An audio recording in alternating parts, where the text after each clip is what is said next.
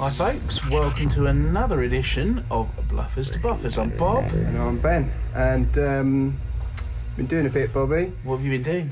Some stuff. I Um, like when you do stuff. Yeah. So in this episode, we're going to do a bit about point motors and a bit about platforms, as denoted by the text that you can see on the screen now. Oh yeah. The text I'm going to put on the screen. Because there's nothing there. Yeah, I know. But viewers didn't know that, Right, did they? okay, sorry. Anyway, let's go straight in. So, Cobalt. I use DCC Concepts Cobalt uh, digital point motors. These are quite clever little boxes, boxes of tricks. Um, Twenty quid a, a box. It depends what box you're talking about. They're not the cheapest. Uh, they're not the cheapest, but yeah, they're about twenty quid per thing. But anyway, so you buy twelve, you get them in this lovely little box. That bag of stuff there on the right of the screen is all the bits you need to fit it. That sticker had come off. Look. Um, That's posh, isn't it? but these are these are literally plug and play um, because it's all digital. As you'll see in a bit, you just fit them to the board, give them an address, and you're away. They'd start working. It's that that that, that simple. Uh, so getting them ready to go on the board, you've got your little bag of tricks there. That's your your um, pin. There's the fulcrum, the little blue thing, so that adjusts the amount it, you know, uh, the angle of the So dangle. it's like a digital servo. Yeah, basically.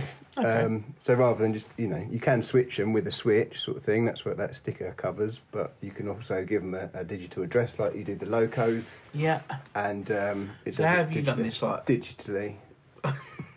What? I'm asking you how you did it. As Oh, in, hang on, pot watch. Just wanted to Pot go through. We've watch? got some good pots recently, and I thought Bob might like to see what pots, pots we've got. Oh. I've been having a lot of curries. Yeah, I know And- what these are for. These are mango chutneys. Yes, and also there's some slightly different size ones. Wow. what Yeah. See, that that that's from the barbecue place. Them big ones are from the curry house. yeah. Your mango chutney, your lime pickle. You They're good pops. pickle, didn't They're good pops. I do love lime pickle. Yeah. Um, yeah, very very good size pot. Um, yes. I hear you've recently changed your Indian. Yes, that, but they this one does the bigger pots, so it's all good. This is that here is your uh, profiterole pudding from Waitrose, and this funny little shaped one is your tiramisu. rolls are available, obviously. And uh, there's, Whoa. I figured that might be useful for something, storing flock or something like that. You can't, bean you juice can't in get it. rid of the bean juice. But anyway, the handy pops. You know I'm a man of pops. you love pots. Yeah. So anyway, Hey, I was asking you about the quickly, just Yeah. about the address. Have you done this like point one, point two, point three, Now- or have you been? You call them Dave and Lucy, or well, something you don't like have the option to call them Dave and Lucy. It is numbers. It is unless numbers. you somewhere between one and two hundred and fifty can make some sort of code where 172 means Steve. eight double o eight. You can't do you can't do that. No. No, No. that's a shame. Yeah. so the, my first board was numbered one to ten. Right? Uh, the yard, you know, the, the yard. Yeah, yeah, Um, yeah. And then I went on from there 11, 12, 13, 14, 15. But then in doing this new layout, I'm going to number all the point motors on the t- upper level in the probably in the hundreds range and the lower level in the tens range, something like that. Right, that but- makes sense. Yeah. Uh, unfortunately, I had uh, 12 that I fitted to the last layout and moved them across to this new one, and they all forgot their addresses, which is a pain in the arse. But I spoke to the guys at DCC Concepts who were really helpful and said there was a there was a problem with one of the batches, just to send them back and, and they'll they'll um, sort it out for me. Anyway, I digress. What what we've neglected to explain to the viewers is that I've installed the pin there. Yeah, we saw that. And what we've got here is a bracket which converts it through 90 degrees. Because I'm using shallower timbers than the depth of that point motor. Ordinarily, it would, Oh, right. Yeah, it would yeah. mount with that go pointing up through the hole, but instead, we want to mount it on its side. A linkage, some may say. Yeah, which actually is, sounds silly, but it's actually easier to install them this way. Um, I don't know why, just is. Now these fiddly little screws, there, they're literally just uh, two, two screws, and that secures to the um, the point motor. Almost, look- almost like a nut and bolt. Yeah, is it exactly this is almost. Meccano spec, isn't It it? is. It's nice, nice to make something. Yeah. And you get these sticky pads. You can see that square white thing. So if you were sticking it upright, stick it on with a sticky pad. But that's kind of a they're very sticky, so there's no fine tuning of the the position you want it in. Right, gotcha. Um, and when you, if like I've had to take them off two or three times now, they're getting the sticky pad off of the point motor is a right pain in the bottom. So I'll be sending them to back to DCC contact sets with all the sticky point pads still on them because it hurts my fingernails trying to pull them off. the instructions say don't cut that with side cutters or anything. Cut it with a cutty disc wheel, but I suppose that's to stop bending it. uh, well, yeah. And I didn't read the instructions, and you know, So don't do that at home, kids. Yeah, Use don't a do that cutty at home. disc. use a cutty disc. But it, it hasn't bent it. They're No. good, good old, good quality got side cutters. Yeah, yeah, yeah. All good. So I did this. I'm just doing the three under the, that board that we've been working on with the station, the lower platforms. Um, as you can see, there's the ones on there. I'm going to have to replace those with the three we've just assembled. Um, and this is just a little demonstration, Bobby, to show you how easy it really is to fit these bad boys. Um, there's the numbers there, the addresses I give them. Oh, yeah. Now, these screws, I have got, being in the motor trade, a fine selection of screwdrivers. Of all my 10,000 different screwdrivers I've got, not one of them actually fit these screws properly. Really? Yeah, they're a nightmare. Um, Ah, now you because I know you bought one, that little Worth kit with all the million different. yeah, heads. I'll, I'll give it a go. They're they're very good. Yeah.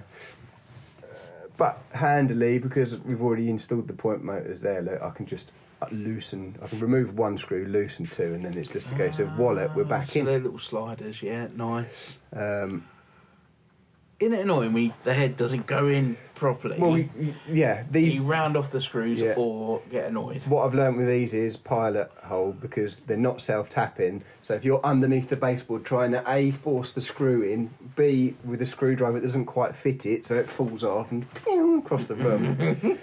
Many a swear word dished Never to trying be to do found them. again. Yeah. But anyway, we've we've worked it out over time. So connecting power to them really is as simple as two droppers from your bus, your, main power thing, which is your red and your black. They So just clip in. you literally just pop it in, Oh, smart. just make sure it's in nicely. Um, yeah, just your red and your black, and then. If you remember, we've spoken many times, and you get that glazed look in your eyes when we talk about Freud, electro frog I still don't know what they do. But you got that V bit in No, the I middle. It do. needs to change yeah, yeah, polarity. yeah, Well, yeah. this green wire here is Yeah. connected at the other end to that frog in the point, Yeah. and you connect it into the point motor. So the point motor changes that polarity for you. Right. So when it's going one way, it knows that it needs to be red. It's clever, isn't it? Yeah. So it's, it's pretty much idiot proof. Yeah. The problem comes when you got s- this layout. I counted earlier on. It's going to need sixty of these. Wow. yeah. Yeah. Wow. And um, when you got slip, double slip crossings going into um, three way things, and it all gets a bit complicated. So if you've got one point set the wrong way and the loco's coming at it, which is easily done because I haven't got a mimic panel or anything yet, which is your lights telling you what's yeah. uh, it's it all trips out. But luckily we've got the protection thing on there, but it's still a bit of a nightmare. So I'm gonna have to work that out sooner rather than later because with 60 points to control, it's Yeah. gonna end up fairly stressful. Yeah. Um, but as a as a product, really, Are really, you wearing a Christmas jumper? it's a Christmas T-shirt, Bob. Are you wearing a Christmas t-shirt? Yes, yes, I am. I hasten to add that this video was filmed in November. Yes, it was. Yes, Have a but word. You need to have a word with yourself. but Don't butt me. this is an important Go on but. then. I was wearing jeans. and I'd sort of done my hair. Wow. I hadn't done my hair at all. Look at it, what a mess. Um, so, You're letting yourself be seen on the internet there. well, who's to say that really was me? Might, this all might be some sort of Who was that? The gardener. Is it? Get him in to do my railway as Is well. this your butter that's actually making the modern yeah, railway? it's? Jeeves. Jeeves, throw three points on that. on the old uh, on the board there. As you can see, it was a particular pain in the bum that it happened on this board because there's no access underneath because it's sitting on that kitchen worktop. Oh, was it? Yeah. Directly onto the top. Yeah, yeah. Oh, right, Just because that's there and on, you know, storage and that underneath. So, luckily enough, the way I have put it together so far, it's not the end of the world to dismantle the tracks and do this. It's just, you know, It would be is- if you had all scenery on it, though. yeah, yeah, yeah. This is uh, an hour of my weekend that I didn't really have to spare. Um, that I had to spend doing it, and not to mention the other point motors on the rest of the board that I had to take up. But you know, to be fair to DCC Concept, they could have wiped their hands of it, but they didn't. So it was a couple of years ago I bought them. So so anyway, this is this is how easy it is to give the point decoder address. You flick the switch on the side, you go to your um, handset, you type in the number you want the accessory to have. Bosh. One or two means is which you know which position is the point going to be in. Press enter. Nip back over to the point motor. Flick the switch down. I know that says 201 and I've just put 200 in. but That is a continuity error that I couldn't foresee at this time. and then you test to make sure it works. Ready? Look at that. Uh, what's not working? There we go. Ah, look, oh, that nice, Clonk. smooth Yeah, look, action. ready? And the tension is palpable. it? Oh, there it goes. Oh, Nice beautiful. and slow action on those as well. It's not just a.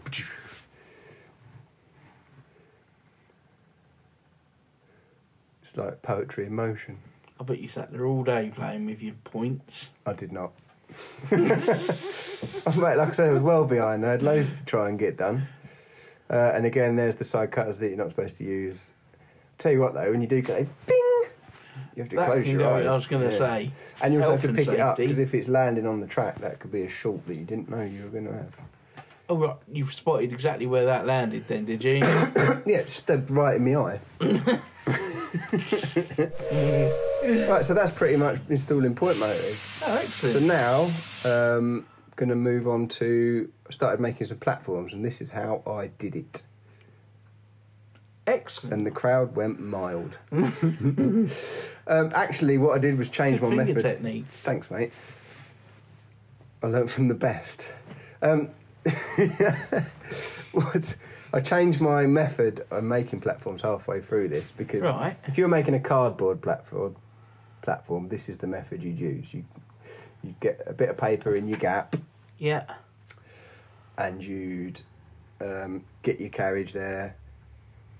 Get Are yourself test carriages? Yes, they are the test train that we get a pencil and and run it along, both in the middle of the carriage and at the end, and you know that that's where the swing of the carriage is going to be. That's so a clever idea. yeah, so if is you clever. if you were making a platform out of cardboard, you know that pencil line.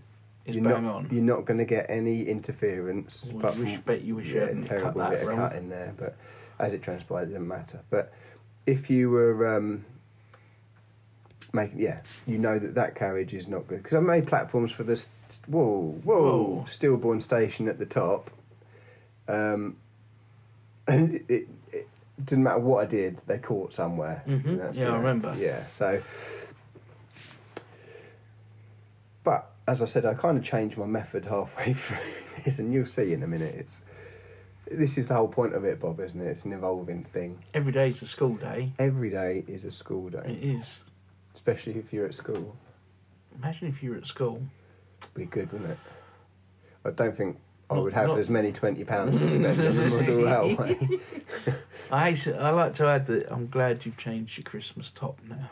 Well, this is I've gone back in time now. So this is before the Christmas top. Good. If you hadn't mentioned it, no one would have known. Well, I feel that don't, don't take that away from our viewers. I think they would have been like, "Why is he wearing a Christmas top?" Well, all right. Well, that'd be what. But then it'd be okay because it'd be December. Yeah, they would never have known that this.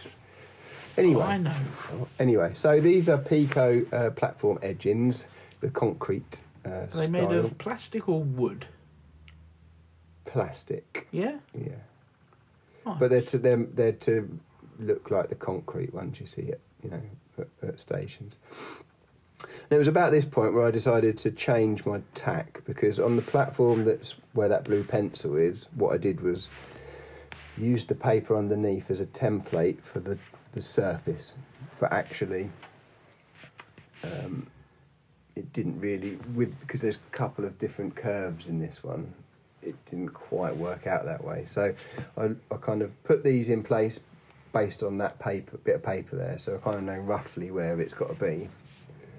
Um, securing them in place just using track pins, as you know, as used to put the track in. Mm. Good product, isn't it? Because you just basically make Yeah, it's, whatever size you want. Yeah, you've got to file. There's like casting bits on the end, so if you don't file them off, it doesn't clip together very well. But Right. it's quite flexible. Um, the finished article, there's a bit on it that annoys me now. I've seen it since finishing it, but it is what it is. The upper platforms, all seven thousand of them. Thanks, Steve. You said you wanted a platform. Yeah, I know. I, you know, I- yeah. Um, I'm only joking. You can't get it. You can't get it anywhere at the moment. Typically, this is all stuff I had in stock, but because of COVID and whatever, it, everyone's panic bought plastic platform edging along with track, and all you just can't get it. I ordered some bits from one of the shops, and I thought, well, I can't just order three packs of that concrete edging, so I ordered some f- um, frog juicers, which is a thing we'll go into another day. Wow. They sent the frog juicers, but not the platform engine. It's the only reason I placed the order. but it's not in stock anywhere. And the same with Hornby TTS decoders. For anything I want to buy a sound chip for, a Hornby one, a cheaper one, can't get it. But it's not forever, is it? Well, I expect Don't a, need lot it. more people are going to be at uh, home at the moment, so they may as well utilise their. Yeah, It doesn't help me. Well, I don't know what to say. Sorry. I'm sorry. There we go. But then they may be watching this video. Yeah, no, that's right. Um, so yeah, it's just a bit of a nightmare getting hold of some stuff, but it's not going to be forever. And I had enough to do this section. I think I had to nick a couple of recycle a couple of bits for what goes underneath the, the cover there, but it was enough to get this done. I'm torn as to how I'm going to finish in terms of paint the, because you'll see in a bit I've primed it, so it's grey. Maybe I should have left it that colour or or not. I don't know, but because concrete isn't actually grey, is it? When you see it, it's not. Yeah, It's never grey, is it? Some of it's almost sort of pinky purple colour, Yeah. isn't it? And all sorts. It's going to be dirty and grimy, isn't it? Being on the side. Whatever, yeah. The kind of the vibe we're going for with this lower level station is that it's, you know, it's it's not cared for. There's no, you know, they don't really want people to stop there. So you just got a couple of like bus shelter type sheltery bits, a bench maybe if you're lucky. The main, the main station is going to be up up the top, sort Right. of thing. So this would be the sort of station where you go and buy your five p. Um, ticket and hope you didn't get stopped between stations you know what you want to say? I bought a ticket. So obviously that's the edging pinned in place. So you got to have a little little play Yeah, just to make that's sure it's um, make sure your your bits clear it. So good excuse to get the old. what have we got here? This is a black five running a test train. Bit of speed there. That went through all right, hasn't it? Yeah, nice. and uh, I think there was a couple to try. But anyway, you obviously don't want to commit to making something if, like I have done historically, it's going to catch because it will a be annoying, b be annoying, c be annoying. I get the, the vibe it could be annoying. Yeah. Um, Another one coming through here, look. yeah. Is it an EMU or The DMU, as denoted by the diesel sound that we can't hear, but you will be able to hear in the final Oh, right. edit. That needs dirtying up. It doesn't does, yeah. Oh, you can hear a little bit. Nice. We're now sitting here watching trains again, not really discussing anything. Well, You, This is part of it. This is the test run. So here we go. Just check your clearances. Oh. I would like it a lot tighter in terms of like when it's stopped, but with a curve, it's near on impossible because because of the carriages as they run round. You're always going to get that Surely gap. they so- just have to mind the gap. Yes, basically. so there's the bit I made earlier. Look, that So is what's this just bit plastic card? plastic card, yep, um, Nice. point point five mil thick, and it's so it's thinner. See the gap between those bits that I'm putting glue on Yeah. and the, the coping stones. There's still a bit of space there, there's a bit of gap, and there's a good reason for that. But that sits in there. How did you find cutting the plastic card to the the, the contour. So what I did, I'll show you again in a minute. Ah. I used my paper in a different fashion. Watch. Get the paper on there. Fingers, as we've worked out, it's all about the technique. Uh, marked it out on the paper and um, then use that as your template. Wallop is in. Now, I've missed, I missed a video, so now I'm just adding our tarmac, Oh, sweet. um, which we used for the road on the bit we did whenever it was. So that's this this bit of tarmac there is drying.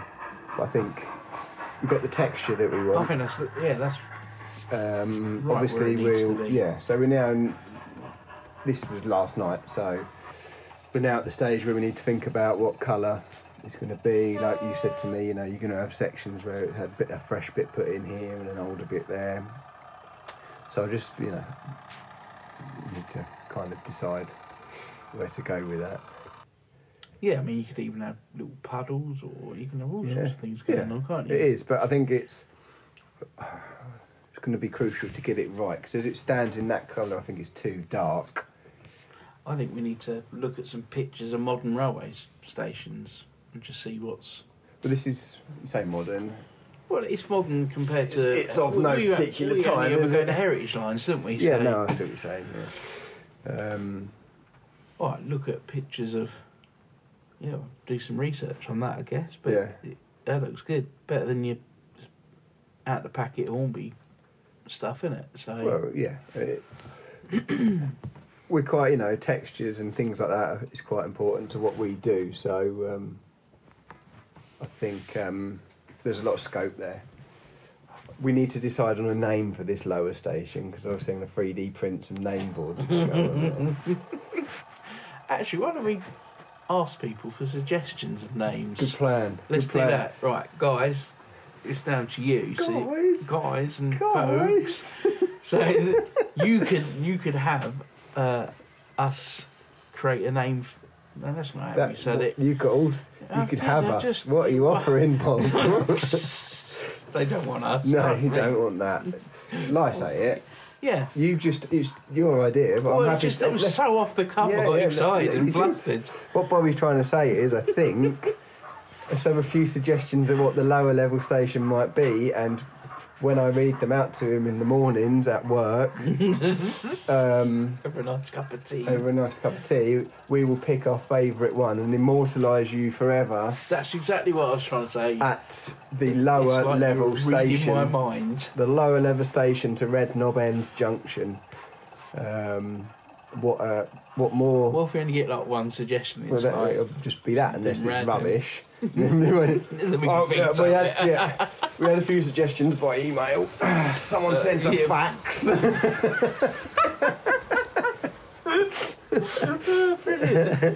oh look, there's a carrier pigeon there with a name on it.